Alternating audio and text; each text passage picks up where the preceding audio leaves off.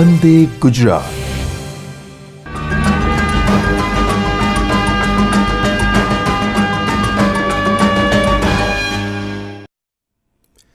નમસ્તે મિત્રો.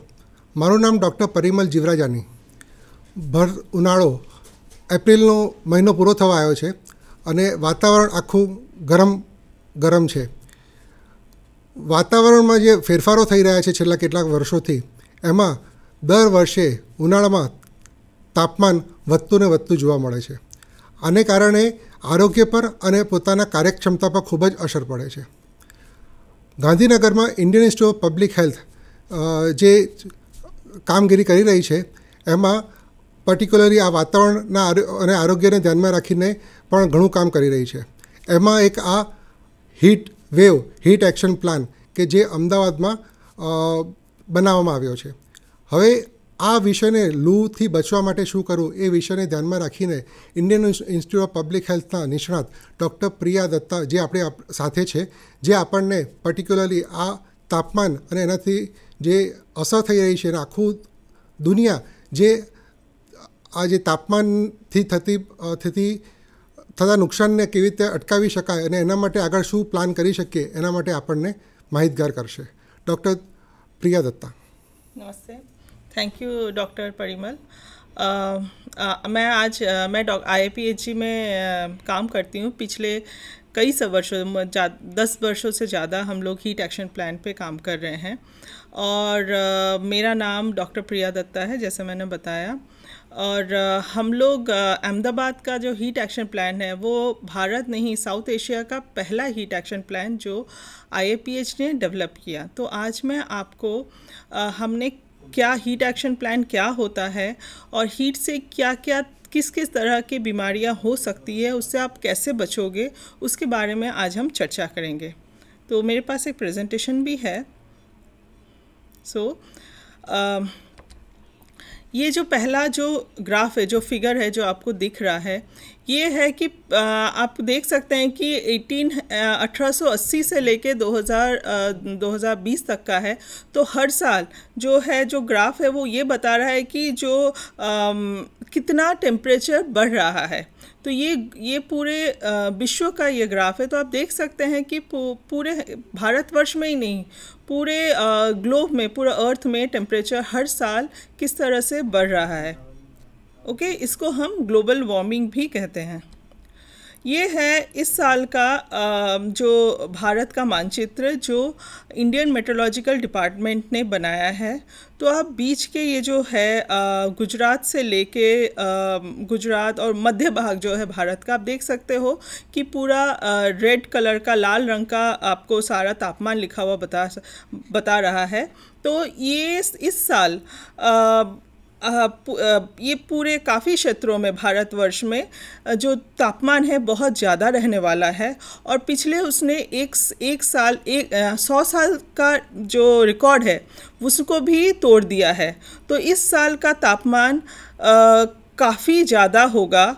और इतना ही नहीं हम लोग का आपको अम, मार्च और अप्रैल महीने में भी हम लोग तापमान काफ़ी था गुजरात में जो पिछले सौ साल का जितना भी अगर आप अ, हम लोग एवरेज ले तापमान का तो उससे भी काफ़ी ज़्यादा था।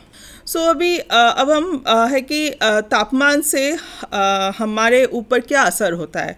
खाली हमारे ऊपर भी नहीं जानवरों पे भी क्या असर होता है?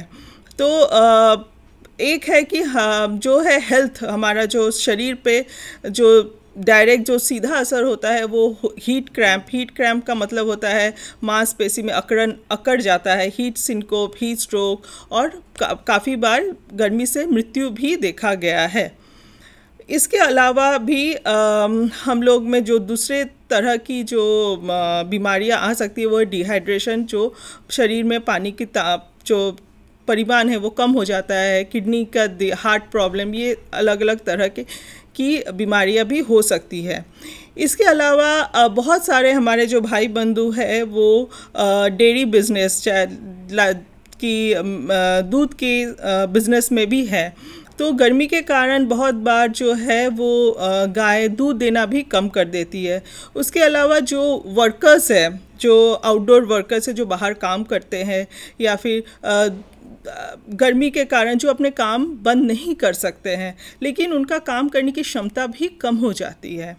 और काफ़ी बार हमने आई ए पेज में बहुत तरह की अलग अलग तरह की रिसर्च स्टडीज़ भी की है। तो हमने ये, हमने पाया है कि बहुत बार लोग, लोगों में स्पेशली ट्रैफ़िक पुलिस और इस तरह के जो काम, इस तरह के व्यवसाय में जो लोग काम करते हैं, जो सीधा जो धूप के नीचे काम करते हैं, उन लोगों में चिड़चिड़ाहट उनके मेंटल हेल्थ इन सब में भी काफ़ी प्रभाव पड़ता है। और काफ़ी क्षेत्रों में जैसे महाराष्ट्र के काफ़ी एरिया गुजरात में भी काफ़ी जगहों पे पानी की दिक्कतें भी देखने को मिलती है। बहुत बार पीने का पानी भी साफ़ नहीं आता है गर्मियों में। इस तरह की काफ़ी तरह की सो गर्मी के कारण काफ़ी तरह की अलग अलग तरह की समस्याएँ भी होती है। सो so, uh, जैसे मैंने बताया गर्म जो हमारा तापमान बढ़ रहा है वो क्लाइमेट चेंज के कारण हो रहा है। तो उसके कारण काफ़ी जगह, पिछले साल हम जैसे ठंडी प्रदेश देशों में, जैसे कनाडा होगा, उस जगहों में में काफ़ी हमारे जो फायर्स है, वो आग लग गया था। तो ऐसी, इस तरह की भी बहुत सारे चीज़ें होती हैं कि आग लग जाता है फॉरेस्ट में आग लग जाती है एयर पोल्यूशन भी होते हैं फायर की वजह से और पिछले दो सालों से कोविड कोरोना चल रहा है और इस साल इंडियन मेट्रोलॉजिकल डिपार्टमेंट ने ये प्रेडिक्ट किया है कि 2022 का जो हीट वेव बहुत ज़्यादा होगा गर्मी बहुत ज़्यादा पड़ने वाली है और इस साल गर्मी भी काफ़ी लंबी पड़ेगी। तो आप मार्च से मार्च ज़्यादा तो इतनी गर्मी नहीं होती है बस इस साल मार्च अप्रैल मई जून तक गर्मी रहेगी। और आ, ये गर्मी के कारण काफ़ी सारे जो लोग वलनरेबल है वलनरेबल मतलब जो लोग आ, स्लम में रहते हैं जैसे प्रेग्नेंट वुमेंस है जो वर्कर्स है जो जो काम करते हैं स्पेशली और जो कोविड कोरोना में जो हेल्थ वर्कर्स काम करते हैं जिनको पूरे दिन वो ग्लव्स पीपी ये सब पहन के काम करना पड़ता है उनको उनमें भी काफ़ी तरह का काफ़ी समस्याएँ होती है ये हीट वेव के कारण। तो आ, आ, जो हीट वेव है तो वो है वो क्या है जो जो लोग जो आ, स्लम में रहते हैं जिनके घरों में ज़्यादा खिड़कियाँ नहीं होती है वेंटिलेशन प्रॉब्लम है जिनके घर बहुत क्राउडेड है और हमारे देश में हर कोई एसी घरों में नहीं रह सकता है। जो लोग बाहर काम करते हैं जहाँ पे बहुत ज़्यादा वृक्ष नहीं है ठंडी जगह नहीं है कूलिंग स्पेस नहीं है कि इंसान कहीं जाके आराम करे जब बारह से पाँच या छः बजे तब तापमान बहुत ज़्यादा होता है। और तो और बहुत बार बहुत पानी जो बाहर जो मिलती है वो पीने लायक भी नहीं होती है। तो इस तरह के चीज़ों के कारण इस तरह के असुविधाओं के कारण लोगों में आ, की की जीवन में हीट गर्मी रिलेटेड जो रिस्क है वो ज़्यादा हो जाता है। अब ये जो देख रहे ये हमारे न्यूज़पेपर का एक दो कटिंग है न्यूज़पेपर में जो निकला था, उसमें पिछले साल जो कोरोना की वजह से कितने लोगों, लोग मर गए थे तो जो व्यक्ति, जो जहाँ क्रिमेशन करते जहाँ पे उनको आग जलाया जाता है तो उन लोगों एक दो जन उन लोगों की भी डेथ हो गई थी क्योंकि वो लोग वो पीपी वो पूरा कपड़ा पहनना पड़ता है कोरोना के कारण। एक तो वहाँ का तापमान बहुत ज़्यादा होता है उसके ऊपर हीट वेव भी है। तो आ, जो डॉक्टर्स है जो हेल्थ वर्कर्स है जो आशा बहनें हैं जो दिन रात वो दो काम करती है उनके ऊपर और ज़्यादा समस्या बढ़ जाती है। सो so, ये तस्वीर आप देख सकते हो, गुजरात के काफ़ी कच्छ, राजस्थान, ये सब जगहों में महिलाएँ पानी के लिए काफ़ी दूर दूर तक जाना पड़ता है, क्योंकि वहाँ पानी की काफ़ी समस्याएँ हैं। और गर्मियों में वो समस्या बहुत ज़्यादा बढ़ जाती है। और हर साल के हम लोग का जो ग्राउंड वाटर है कि पानी के ज़मीन के नीचे जो पानी का स्तर है, वो हर साल कम होता जा रहा है। हमें पानी की समस्याएँ बढ़ रही हैं। ये आ, आ, हमने ज, मैंने जैसे बताया Indian institute of public health Bharat का पहली संस्था जिसने ये ही गर्मी रिलेटेड जो आ, जो बीमारियाँ हैं पहले उन, उन्होंने समझा और heat action plan Ahmedabad municipal corporation के साथ मिलकर उन्होंने बनाया। तो हम हम कैसे ये समस्या हमें पता चली? क्योंकि गर्मी 2013 से पहले आ, कोई हीट एक्शन प्लान भारतवर्ष में नहीं था। तो 2010 में अहमदाबाद में काफ़ी बड़ा हीट वेव आया था जिसके कारण काफ़ी लोगों की मृत्यु हो गई थी। तो ये आप देख सकते हो जो लाल जो लाइन है वो ये बताता है कि कि टेम्परे जो तापमान है कितना ज़्यादा आगे बढ़ रहा है। 2000 वो 2010 का टेम्परेचर है। बाकी उसको अगर देख सकते हैं, उसके पहले साल का तापमान से तो काफ़ी ज़्यादा तापमान दो 2010 में अहमदाबाद में बढ़ गया था। तो उसके कारण क्या हुआ था कि काफ़ी लोगों की मृत्यु हो गई थी। तो 21 मई को अहमदाबाद का तापमान 47 डिग्री पहुँच गया था, जिसके कारण एक दिन में 310 लोगों की मृत्यु हो गई थी। और अगर हम उस हफ़्ते को देखें तो उस हफ़्ते में 800 लोगों की अधिक मृत्यु हो गई थी 2010 में। तो ये जब हमने आ, हमारे आ, संस्था ने जब हमने शोध किया कि हमें मिला कि इतनी आ, गर्मी के कारण इतनी लोगों की मृत्यु हो गई वो भी एक हफ़्ते के कारण जब अचानक से 2010 में तापमान बहुत ज़्यादा बढ़ गया था। तो हमने और इसकी पुष्टिकरण के लिए मैं आपको आ, ये तो हमने आ, ग्राफ दिखाया रिसर्च वाला आ, दिखाया कि हमने टेम्परेचर और all cause mortality data. All cause mortality मतलब होता है कि हर दिन में कितनी मृत्यु होती है वो जो हम हमने अहमदाबाद म्यूनसिपल कॉरपोरेशन से जो डेटा लिया। इसके बाद हम आपको न्यूज़ का 2010 का एक वीडियो दिखाते हैं तो आपको पता चलेगा कि गर्मी में 2010 में क्या हुआ था जिसके कारण हमने हीट एक्शन प्लान के बारे में सोचा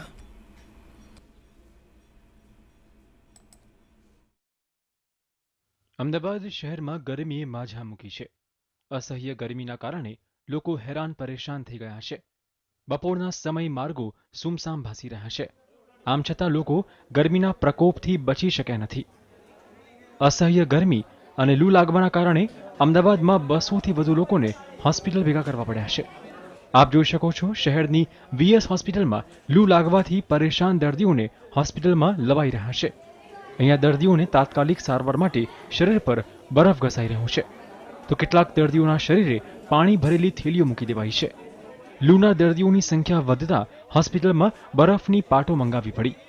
લૂના દર્દીઓની સંખ્યા વધતા તંત્રએ અભિયાન શરૂ કર્યું છે અને તે માટે એકસો આઠ ઇમરજન્સી એમ્બ્યુલન્સ સેવાને વધારી દેવાઈ છે. આ સાથે જ અન્ય એમ્બ્યુલન્સની પણ વ્યવસ્થા કરી અપાઈ છે. તો ફાયર બ્રિગેડની એમ્બ્યુલન્સ વેનોને પણ તૈયાર રખાઈ છે. बाईस गाड़ियाँ तो थी सही तीन गाड़ियाँ एक्स्ट्रा और लगाई और एक गाड़ी भी शाम को और बैकअप में लगी है टोटल 26 गाड़ी अहमदाबाद में इसको कैटर कर रही है और जितना जल्दी उसको कोशिश कर रहे हैं हमारी एंबुलेंस में आपको मालूम है ग्लूकोज हुआ है सब कुछ है। और कई पेशेंट्स को ऑक्सीजन की भी कंडीशन पर ऑक्सीजन भी दिया जा रहा है। अहमदाबाद અમદાવાદમાં પડેલી રેકોર્ડ બ્રેક ગરમીએ માનવીના હાલ બેહાલ કરી મૂક્યા છે. તંત્રએ गर्मी प्रकोप સામે सज्जता કેળવી है અને આ માટે વિશેષ તકેદારી રાખવાની સૂચના આપી દેવાઈ છે નીરવ ગોવાણી ટીવી નાઇન અમદાવાદ ये 2010 की का जो हुआ था जो गर्मियाँ अचानक बढ़ गई थी 2010 में इसके कारण अहमदाबाद का ये हालत हो गई थी 2010 में तो ये टीवी नाइन का वीडियो क्लिपिंग सा दो 2010 की हालात आपको बता रही है, क्या हुआ था। उसी तरह इस साल 2022 में भी बहुत ज़्यादा गर्मी गर्मी पड़ने वाली है, जिसके कारण अभी हम आप, अभी मैं आपको बताऊँगी कि हमें क्या क्या करना चाहिए।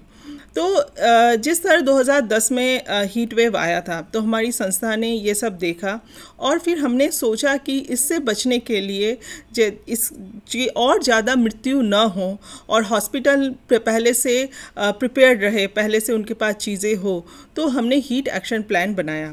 तो वो बहुत सा, सिंपल सा है ताकि हर किस इंसान समझ सके जिसमें साधारण व्यक्ति से लेके जो जो शोध करते हैं प्लस जो ब्यूरोक्रेट है, हर कोई समझ सके कि गर्मी से कैसे बचना चाहिए और कैसे हम मृत्यु संख्या कम कर सकते हैं। तो अहमदाबाद भारतवर्ष का पहला शहर बना, जिसने कलर, रंग हिसाब, कलर हिसाब से हमने हीट का अलर्ट बनाया कि जब रेड होगा, जब 45 के ऊपर तापमान जाएगा, तब हमारी जो गवर्नमेंट है, जैसे अहमदाबाद म्यूनसिपल कॉरपोरेशन और हर हर क्षेत्रों का जो है नेशनल डिज़ास्टर मैनेजमेंट वो हर जगह अलर्ट दे दे और ताकि लोग उसी हिसाब से हर डिपार्टमेंट अपने अपने हिसाब से लोग और प्लस डिपार्टमेंट या फिर जैसे ट्रैफ़िक है, हर कोई बचने का उपाय कर सके। अभी हमने ये तो हुआ तापमान के बाद। और हमने कुछ सालों से अहमदाबाद में ये भी पाया है कि न कि दिन में गर्मी बढ़ रही है, रात में भी गर्मी काफ़ी बढ़ रही है। मैं अहमदाबाद में काफ़ी सालों से मैं रह रही हूँ और मैं, और जब मैंने देखा है, गर्मियों में अहमदाबाद में लोग छत में सोचते हैं, सोते हैं और रात को काफ़ी ठंडा हो जाता है वातावरण। बट लेकिन पिछले कुछ सालों से आपने भी अनुभव किया होगा कि रात को भी अभी जल्दी ठंडा नहीं होता है। हमने, हमारा रात का भी तापमान बढ़ने लगा है, पहले के हिसाब से जो काफ़ी गंभीर है। ये सबको देखते हुए हमने 2013 में अहमदाबाद म्यूनसिपल कॉरपोरेशन के साथ ये हीट एक्शन प्लान बनाया। और हम हमें ये आ, बनाने के बाद हमने पिछले पाँच सालों से हम ये देख रहे हैं अहमदाबाद में काफ़ी मृत्यु दर काफ़ी कम हो गई है। आ, और इस प्लान में क्या है? इसमें ज़्यादा कुछ बहुत ना समझने वाली ऐसे कुछ भी बात बहुत साधारण सा ये प्लान हमने बनाया। सबसे पहला इसमें चार कंपोनेंट्स है। पहला है इसमें अर्ली वार्निंग सिस्टम वो होता है कि जैसे I M Indian meteorological department जो हमारे तापमान जो बताते हैं, जो संस्था, वो संस्था जब भी बताए कि कल का या अगले तीन दिन का तापमान ये होने वाला है और हमने एक, हर डिपार्टमेंट का एक ग्रुप बनाया है कि जब तापमान उनके पास आ जाए तो वो कैसे हर संस्था, हर डिपार्टमेंट हेड को वो जानकारी मिल जाए। जल्द से जल्द।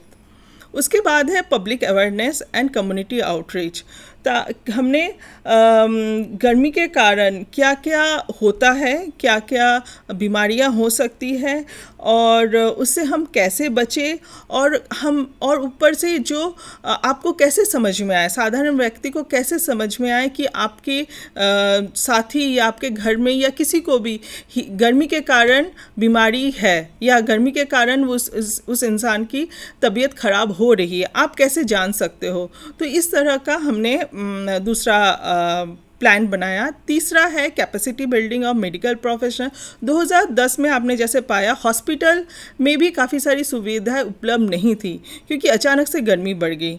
तो उसके बाद हमने एंबुलेंस हॉस्पिटल आशा वर्कर और हेल्थ वर्कर्स सबके साथ हमने काम किया और उनको हमने ट्रेनिंग दी।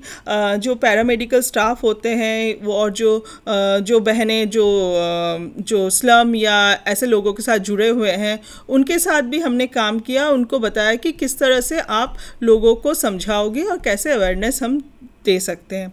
जो चौथी चीज़ है वो reducing heat exposure and promoting adaptation measure जैसे छोटी छोटी चीज़ें, जिसमें आपको ज़्यादा पैसे की ज़रूरत नहीं पड़ती है। लेकिन आप अगर वो चीज़ करोगे तो आप कैसे कुछ हम जिंदगियाँ बचा सकते हैं? फॉर एग्ज़ाम्पल उदाहरण के स्वरूप में, अहमदाबाद में पहले दिन के समय सारे गार्डन्स पार्क बंद होते थे। लेकिन अभी हमने सारे गार्डन्स गर्मियों में खुले रखते हैं, ताकि और वहाँ पीने की पानी की भी सुविधाएँ हम उपलब्ध कराते हैं। ताकि गर्मी में जो हमारे जो सा जो लोग हैं जो बाहर काम करते हैं वो उनको अगर अगर तबीयत ख़राब हो या उनको आराम लेना हो तो वो गार्डन में जाए वहाँ पीने की पानी की सुविधा भी है या पेड़ के नीचे छाँव के नीचे वो कुछ समय बैठे और उनको राहत मिले। ये है आ, हर दिन आ, जैसे आ, मेट्रोलॉजिकल डिपार्टमेंट से आता है कि कल का तापमान कितना होने वाला है, जब हमारे पास आती है तो हम हर संस्था, हर डिपार्टमेंट को पहले से बता देते हैं, ताकि वो अपने हिसाब से कार्रवाई करें। इस तरह का हम काफ़ी सारे ट्रेनिंग्स करवाते हैं ट्रैफिक्स हुआ या फिर आशा की बहनें हैं या फिर सेवा वर्कर्स हैं हर किसी के साथ हम ट्रेनिंग करवाते हैं और हम यहाँ के गुजराती लैंग्वेज में भी काफ़ी सारे आईसी मटेरियल भी हमने बनाया है।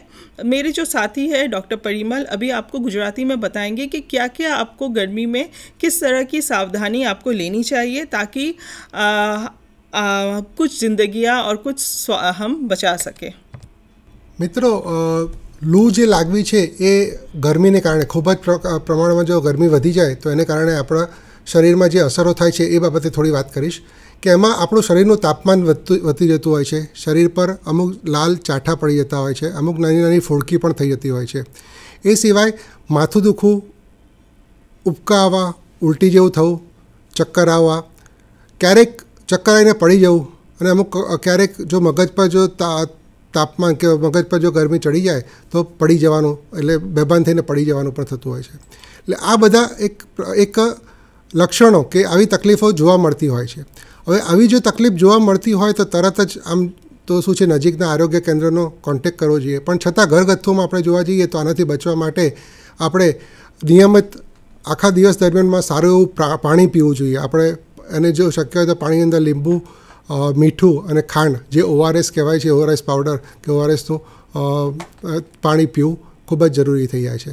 શક્ય હોય તો આપણે તાપમાં બપોરના ટાઈમમાં ના નીકળતા, ખાસ કરીને જે વલને વલનરેબલ ગ્રુપ જે જે લોકોએ વધારે સાવચેતી રાખવાની જરૂર છે, એમાં બાળકો આવી જાય છે, વૃદ્ધો આવી જાય છે જે કહેવાય કે સગર્ભા માતા આવી જાય છે. એ લોકોએ તો ખાસ ધ્યાન રાખવું ખૂબ જ જરૂરી છે કે બપોરના ટાઈમમાં ઘરની બહાર ના નીકળવું.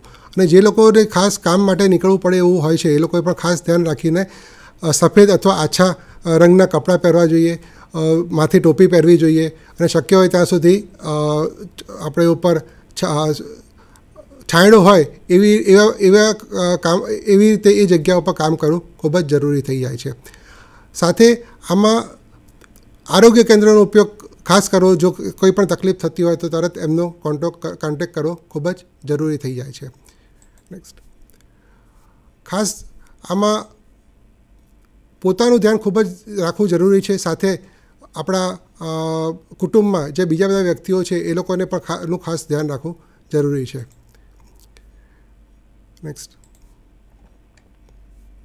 નેક્સ્ટ હવે આ બાબતે આપણે આને લગતી પણ એક અમુક વીડિયો બનાવ્યા છે આપણે, એ હવે આપણે જોઈશું. આકરી ગરમી ભારતમાં જીવલેણ સાબિત થઈ રહી છે. જલવાયુ પરિવર્તન, શહેરીકરણ, ઇંધણનો વધુ પડતો ઉપયોગ અને વૃક્ષોનું ઘટવું પણ આનું કારણ છે અને ભવિષ્યમાં ગરમી બદતર થશે. લૂ બેહદ ખતરનાક છે અને મોટા ભાગના લોકો અજાણ છે કે આ પ્રાણઘાતક થઈ શકે છે.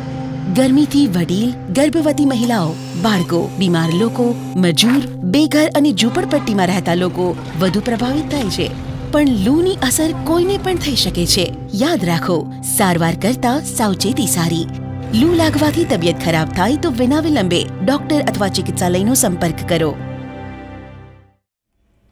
શ્રમ કરવાથી જીવલેણ લૂ લાગવાનું જોખમ છે. તેના લક્ષણો ઓળખો. અતિશય તાવ, ઉલટી ઉપકા અશક્તિ, સ્નાયુઓમાં ખેંચાણ, ચક્કર, માનસિક અસંતુલન, શ્વાસ લેવામાં મુશ્કેલી અથવા ગભરામણ. ઝડપી ધબકારા, છાતીમાં દુખાવો, બેભાન થઈ જવું. જો આપ કોઈને આ હાલતમાં જુઓ તો તેમને પ્રાથમિક સારવાર આપો. તત્કાળ એકસો આઠ પર ફોન કરીને એમ્બ્યુલન્સ બોલાવો. ત્યાં સુધી તેમને છાયામાં લઈ જાઓ. પગ ઉપર કરીને સુવડાવો. ભીના કપડાથી શરીરને ઠંડુ પાડો. હવા નાખો. જો તે પૂરા ભાનમાં હોય તો ઓઆરએસ, લીંબુ પાણી, છાશ જેવા કુદરતી પીણા પીવડાવો. સોડા આપવાનું ટાળો. આપની સતર્કતાથી કોઈનો જીવ બચી શકે છે. ઉનાળો રજાઓ સાથે ઘાતક લૂ પણ લાવે છે. લૂથી બચવા ખૂબ પાણી પીઓ. જેટલો વધારે પરસેવો, એટલું વધારે પાણી. ઓઆરએસ લીંબુ પાણી, છાશ વગેરે પીવો. ચા, કોફી અને કોલ્ડ ડ્રિંક્સ પીવાનું ટાળો. તડકામાં બહાર જવાનું ટાળો. ખાસ કરીને બપોરે અગિયારથી ચાર વચ્ચે. આછા રંગના આરામદાયક કપડાં પહેરો. સિન્થેટિક કપડાં ન પહેરો. બહાર જતા સમયે પીવાનું પાણી સાથે રાખો. છત્રી, ટોપી, ખેસ પાકડી અથવા ઓઢણીથી માથું ઢાંકેલું રાખો. તડકામાં તીવ્ર શારીરિક પરિશ્રમ ટાળો. અનિવાર્ય હોય તો વચ્ચે વચ્ચે થોડો આરામ કરો. આ સાવચેતી આપનો જીવ બચાવી શકે છે.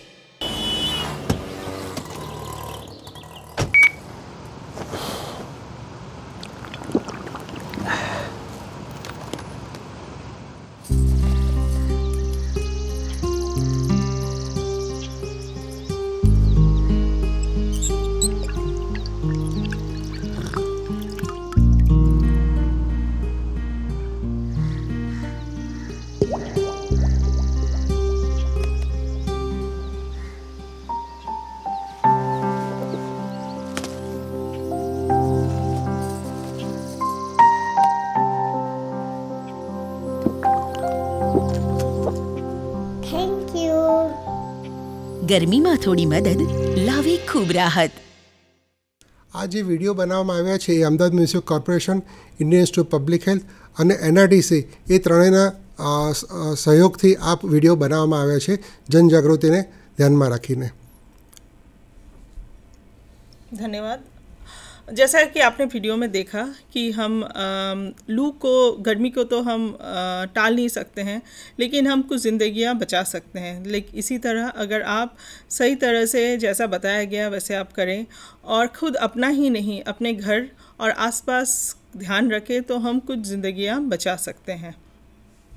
प्रेजेंटेशन तो आ, हमने आ, जैसे हमने बताया कि हम डॉक्टर के साथ मिलके भी हमने काफ़ी सारे वर्कशॉप्स किए हैं और इस गर्मी के दौरान हम कम कर, कर रहे हैं कि जिसके कारण हमारी स्वास्थ्य संस्थाएँ पहले से जागरूक रहें और पहले से हम अगर अगर फिर भी अगर इतना सब करने के बावजूद भी किसी लोगों को चक्कर आ जाता है आप 108 हॉस्पिटल जाते हैं तो ताकि हॉस्पिटल में लोगों को सही उपचार मिले ताकि मृत्यु दर इस साल बिल्कुल ना हो और हम काफ़ी ज़्यादा से ज़्यादा लोगों की ज़िंदगियाँ बचा सकें।